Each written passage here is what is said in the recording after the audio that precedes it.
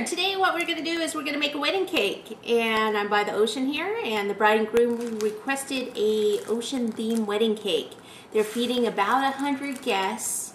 So what I've already done here is I've uh, baked up a 6, 10, and 14 inch cake and I've covered it in rolled fondant. Now this cake could also be done in buttercream. Um, it just they paid for the fondant, so I'm giving them fondant. But um, all the decorations, everything that we're going to be doing on the cake can be done on a buttercream cake. So to get started, what I need to do are make the elements that are going to go on the cake.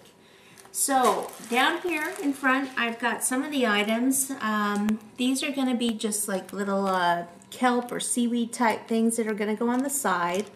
Uh, these are little ocean tubes. And then we're going to have a cake topper, and these are made out of fondant here, and these are uh, little seahorses that are made with these this little cutter here, which is just a cookie cutter.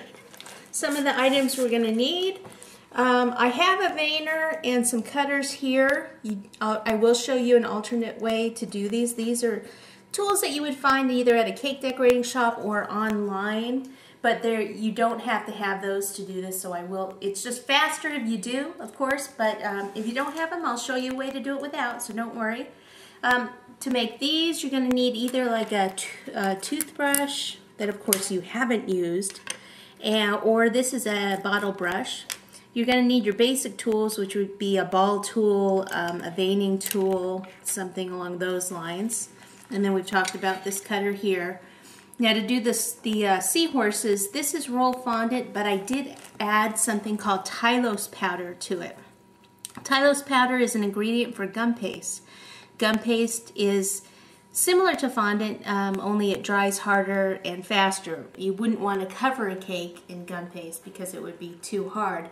But what's nice about it is I can just sprinkle some in my fondant. There's no recipe I just kind of take some and sprinkle it. Actually, why don't I just do that just because you can see it. So this is just some white fondant that I have here.